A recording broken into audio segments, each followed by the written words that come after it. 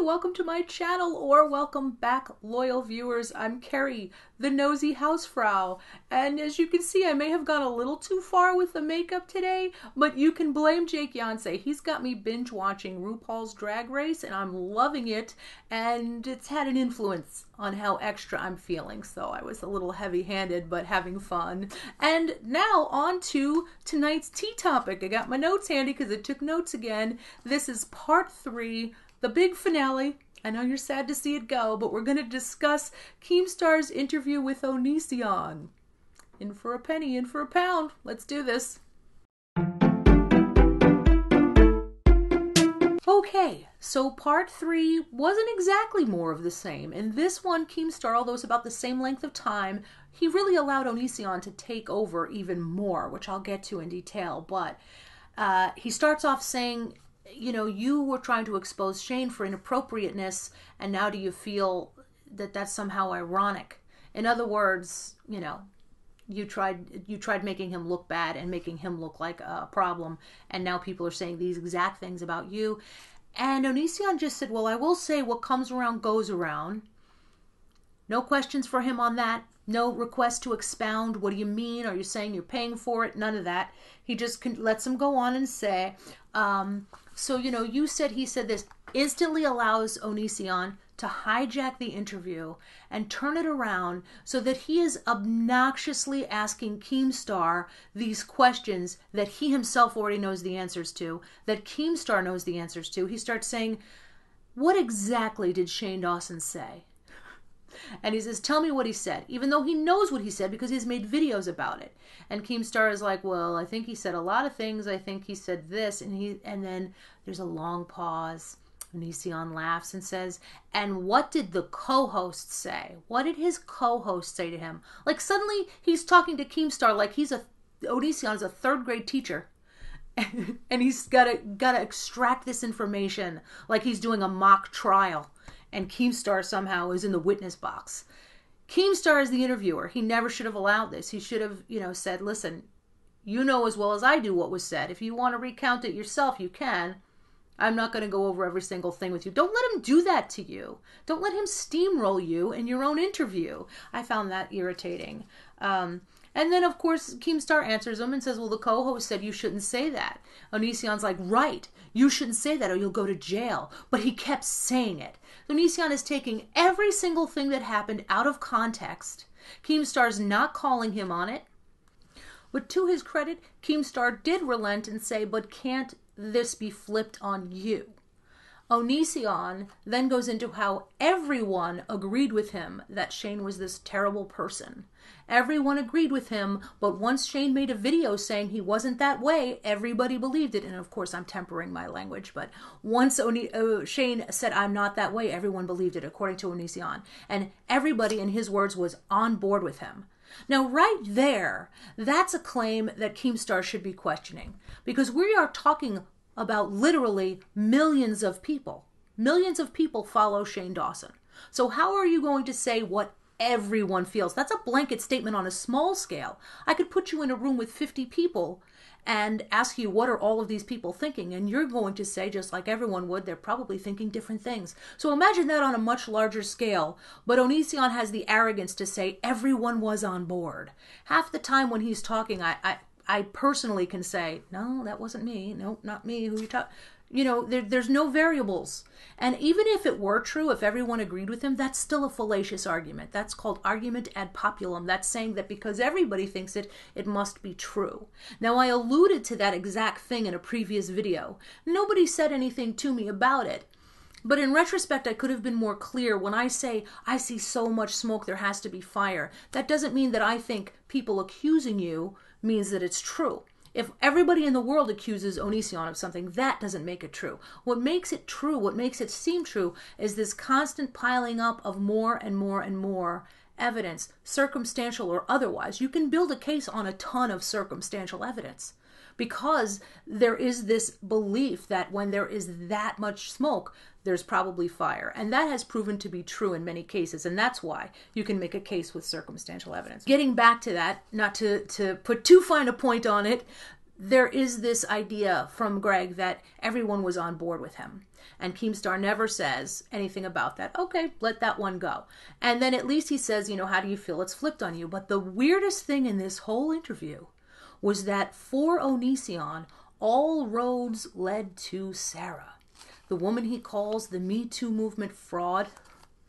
Everything asked of him turned to Sarah at one point, when it starts out, Keemstar is clearly trying to put the focus on the Shane thing.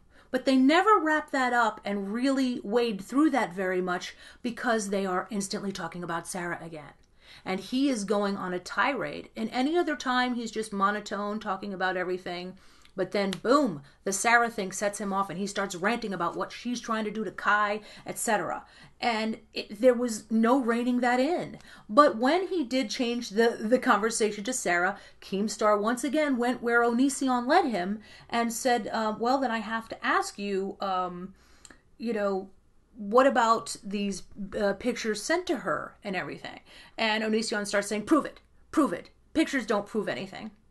This was to me bizarre that Keemstar never said it. I almost felt like he wasn't listening to him very much because Onision made a point twice, and when he made it at the end, Keemstar acted like it was the first time he had heard it, which I will get to put a mental tab on that. So Onision says that these pictures cannot have been proven to have been to, been sent to Sarah. Now, when you bring up Sarah, sorry, when Onision does, because you won't have to, he'll bring her up you're not going to get a word in because he just rapid fires all of these things about how horrible she is. This girl that was a minor when he brought her into her, his home, he is now fighting with as a grown man and blaming her for everything, right?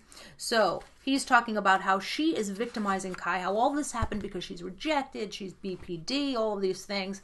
And the weirdest thing was that he said this picture that was not sexual at all. Hello, County Monet, how are you?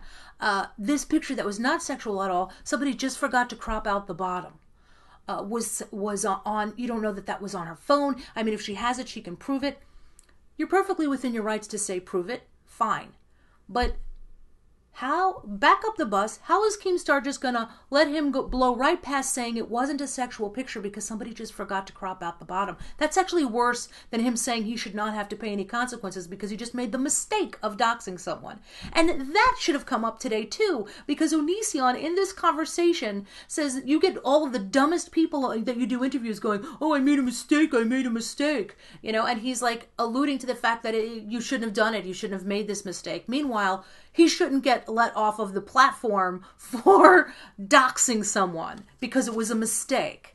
So he has a very different standard for himself, clearly, and contradicted himself between these two interviews.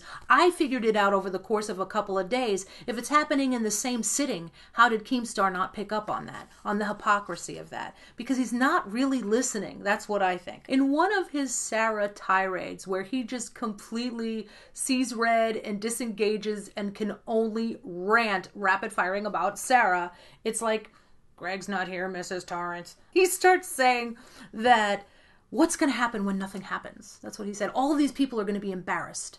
And what's going to happen when nothing happens? Well, nothing has happened. That's you're looking at what happens when nothing's happened.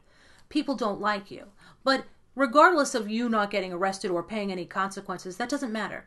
Because with Greg, something will always happen. I've said before and I'll say again, I don't think Onision will be going to prison for this. You know, with him, something always does happen. But at least in this instance, uh, he has been too clever and has not technically broken any laws and, and will not be arrested. So I found it particularly ridiculous when he was making it sound like the law was coming for Chris Hansen. He was really trying. You remember what he did with the 911 call, making it sound so much worse than it was? Anytime he wants to sway something in his favor, he exaggerates and he's not even embarrassed about how transparent it looks. Did the same thing with Shane, did the same thing with Sarah. Anybody that he tries to gaslight, he always makes it look like it's so much in his favor. And in this case, he was saying Chris Hansen was within 50 feet of his trespassing sign. Chris Hansen, a journalist who was there for to, to attempt to get an interview, which Onision knew. Uh, and I think he did abuse the 911 system with that call, by the way. So he's saying that Chris is going to have to answer for that. He's making it sound like the law is after him for it, and like that you'd think the paddy wagon was coming any minute, and that Chris Hansen was going to be locked up because he was within 50 feet of Onision's trespassing sign. Not even embarrassed. Keemstar then attempts to go in hard on Onision and say, I have always disagreed with you on this, that you had young underage girls send you their pictures so you could critique their bodies, etc. And Onision said, Whoa, send? No. Post on a public forum that was 18 and older only. And Keemstar says, I know you're not stupid. You had to know some of these girls would be underage. To which Onision replies, hence the 18 and older only on there. Onision had said flat out that underage girls never crossed my mind. And yet they crossed your path because we all saw it. You'd have to be obtuse to not know that some of those girls were about 15 at best. I don't care what the site says, you're supposed to use your own good judgment that you're supposed to have to be able to discern between younger and older. And because of all of this discussion about younger and older, the obvious thing never gets brought up. How disgusting is it that you had an event like that?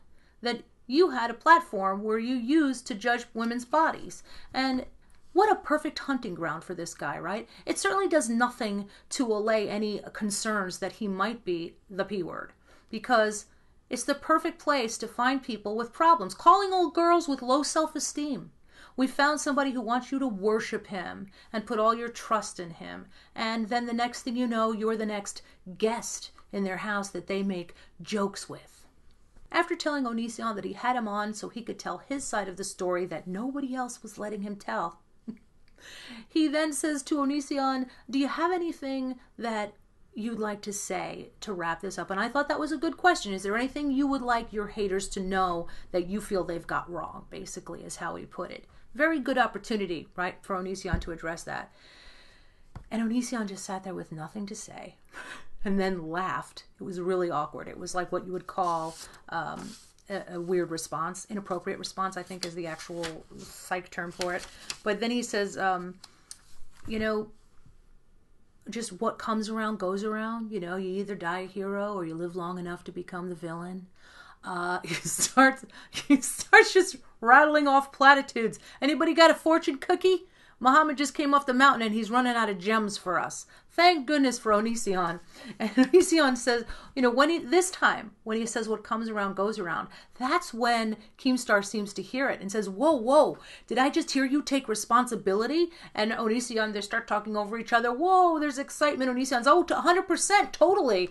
I take responsibility. He says, I used to be like those drama channels. I used to be stupid and I would make uh, social repose videos for views, etc. And Keemstar is acting like he's all woke. What I think Keem is missing is that this is part of the Onision cycle. He does this from time to time, all the time. He did it before his worst videos about Eugenia Cooney. He would have an apology every other week about how he wasn't going to be that guy anymore. And then all of a sudden he was woke and transcendental before he did it all over again, even worse. And one of the more poignant final remarks that Onision made was, Nobody's perfect. Truer words were never said. That one that one really resonates. I'm gonna, I'm gonna write that down. I think I'm gonna make a refrigerator magnet out of clay, you know, so like I could see it every day because that one, it really changed my perspective a lot.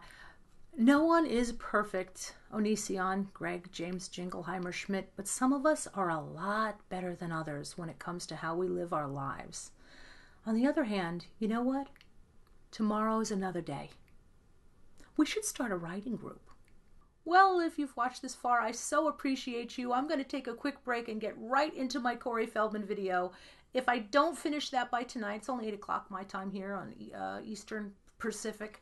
And uh, if it's not up tonight, it will be up tomorrow morning the latest by noon Eastern Pacific time. I also have a regular Patreon and a VIP Patreon going up tomorrow night as well. Thank you very much for all of your support, patron saints of Patreon. As you know, County Monet has been visiting me every day as soon as I go live. So you are appreciated more than ever. So thank you. And everyone, until next time, Hausfrau out.